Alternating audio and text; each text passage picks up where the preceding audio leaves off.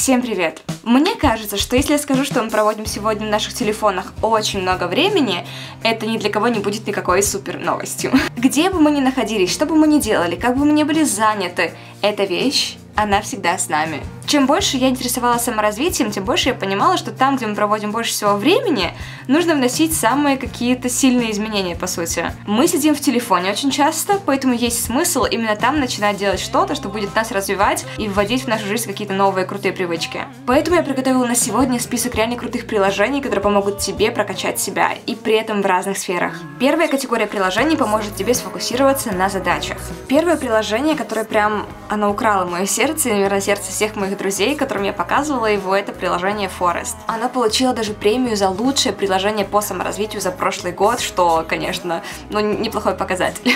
Оно улучшает твою работоспособность и повышает эффективность и концентрацию в любой задаче или работе. То есть, неважно, написание курсовой это или уборка в комнате, приложение помогает тебе просто концентрироваться там, где нужна концентрация. Тебе нужно просто посадить дерево ну, только виртуальное. вот, и пока оно растет, тебе нужно выполнять ту задачу, за которую ты взялся. Если ты выходишь из приложения, заходишь в Инстаграм, отвечаешь в WhatsApp, что угодно делаешь, это дерево гибнет. Я скажу честно, это работает, потому что срабатывает в первую очередь просто психологический фактор, то есть я реально хочу, чтобы мое дерево выросло, это раз. А во-вторых, я понимаю, что я реально не могу зайти в другие социальные сети, и это меня вообще не отвлекает. Более того, это приложение связано с какой-то международной организацией деревьев, и поэтому набирая какое-то количество баллов, по-моему, 2000 тысячи баллов, в мире реально садится одно настоящее дерево. Садится дерево настоящее только благодаря тому, что ты был продуктивен. Есть еще аналог попроще, называется Stay Focused. На андроиде называется Stay Focused, а на iOS Be Focused. И система та же. Ты себе ставишь таймер, делаешь паузу, ты работаешь над чем-то, но просто нет какой-то одной идеи, которая бы тебя очень вдохновляла, например, как с деревьями. Я просто фанат уже этих деревьев, мне кажется, какой-то. То есть смотрите сами, кому что удобнее, но такие приложения, они очень помогают реально быть эффективнее, и это проверено очень многими людьми. Вторая категория приложений — это медитация и здоровье. Приложение, с которого хочу начать, это Headspace. Это приложение для медитации. Если ты не умеешь, не пугайся, потому что как раз-таки для новичков оно тоже подходит. То есть и для профи, и для более продвинутых, крутых людей. Это тоже было не про меня. У приложения просто шикарный дизайн, очень минималистичный, очень стильный, прям вот то, что я люблю. Я просто очень сильный визуал, и для меня это важно. Изначально ты выбираешь цель и тему своей медитации. Тему? Ну, там топик написано. То есть, что тебе нужно? Расслабление, концентрация, концентрация, устранение стресса или плохого настроения, или тебе, допустим, медитация нужна, чтобы лучше уснуть, то есть все тут индивидуально подбирается под тебя лично. И ты выбираешь, когда ты хочешь медитировать. Допустим, мне приходит каждое утро в 7 утра оповещение. Оно на английском, кстати, забыла сказать, потому что на русском ничего подобного я не нашла. Следующее приложение — это приложение для отслеживания твоего настроения и морального состояния. А ментальное здоровье — это это так важно. Приложение называется Dailyo. Dailyo. Dailyo. Ну, в общем, да.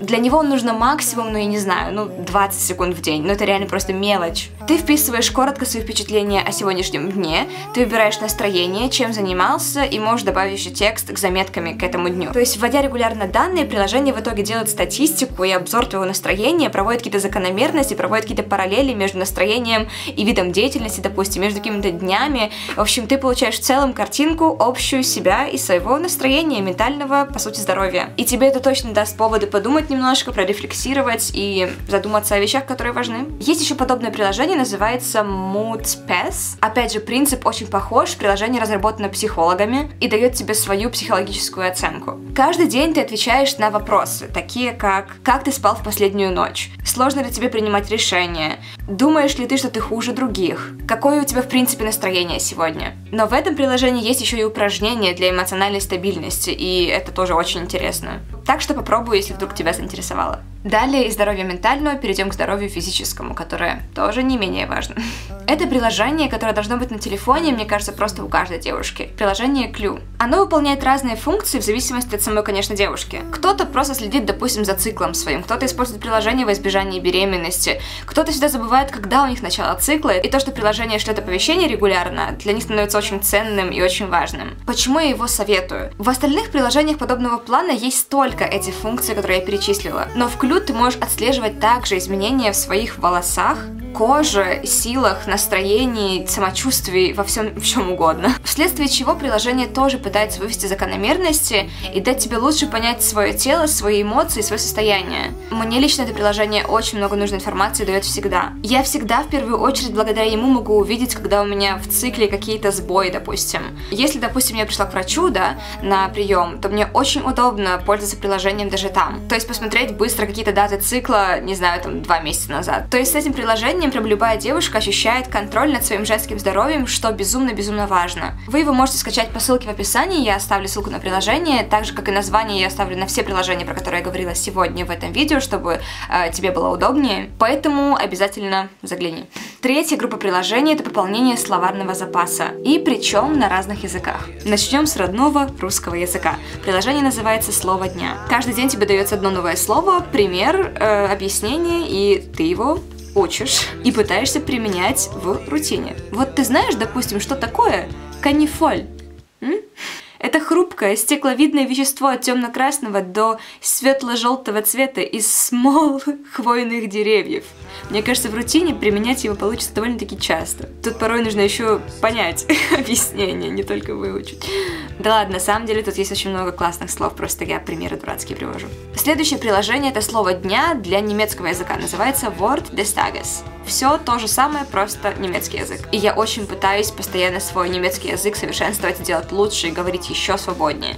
И для тех, кто учит английский, приложение Words of the Day. Это занимает очень мало времени, но очень крутая привычка, которая помогла бы подтянуть каждый из языков, который тебе нужен. Четвертая группа приложений — это знание и мозг. Мозг — это, ну, тоже важно иногда. Приложение Lumosity. Не уверена тоже, что правильно. Нужно больше words of the days мне учить на английском, наверное. Это мозговой тренажер, можно так сказать, который тренирует ваш мозг. Тренажер для чего? Для памяти, для концентрации, для способности быстрого решения проблем, для мультитаскинга. Сначала ты вводишь свой пол, где учишься, то есть, не знаю, школа, университет, а, и проходишь изначально тест своего мозга. Да, возможно, будет немного больно увидеть нерадужные результаты. Да ладно, шучу, на самом деле, там не так сложно. И ежедневно ты выполняешь три упражнения примерно, которые помогают твой мозг развивать, и регулярно, то есть не раз в год поиграть, зайти и подумать, что ты все уже там самый умный. Теперь парочка крутых приложений и, наверное, даже самых лучших, что я знаю, приложений, чтобы что-то почитать, пока ты в дороге, и получить новую интересную информацию.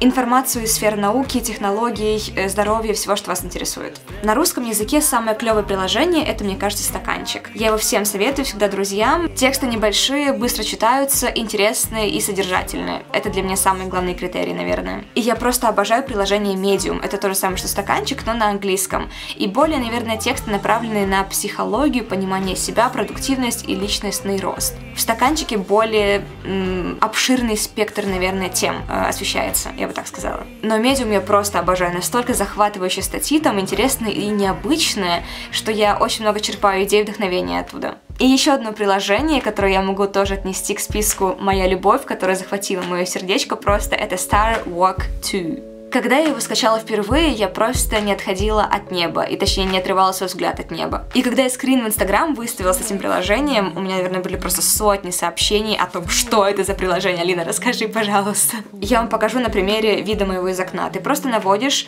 э, телефон с открытым приложением к небу, и наводя на любую звезду, ты видишь, что это за звезда, или что это за созвездие, или что это за светило. Не знаю, все что угодно ты видишь, там все будет показано тебе и рассказано. И это очень круто. Ты в реальном времени просто смотришь и видишь, что вокруг тебя. В этом приложении, в принципе, очень много информации о небесных светилах, о всем, что происходит в космосе.